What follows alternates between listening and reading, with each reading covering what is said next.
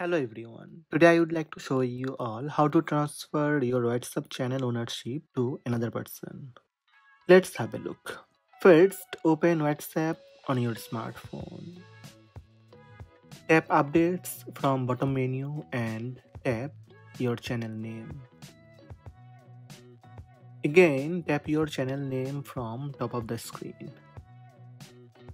Scroll down and find out you and your followers. To transfer channel ownership on WhatsApp channel, first you need to invite someone as admin. From your followers, select the person to send admin request.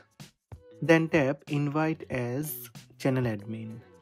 Tap send button when that person accept your invitation, you will see the admin sign beside the person. Now to transfer channel ownership, tap on the admin name, then tap transfer ownership. Transfer ownership to another person. You would not be able to invite or dismiss admins. You will remain an admin or choose to dismiss yourself.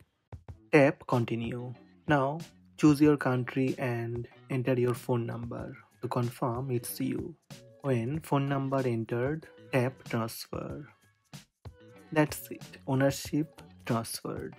You will see admin sign beside you and owner sign beside your selected person. So these are the steps to transfer your WhatsApp channel ownership to another person. Hope this video help you. Please subscribe my channel by tap subscribe button. Also tap the bell icon to receive notifications about all new videos.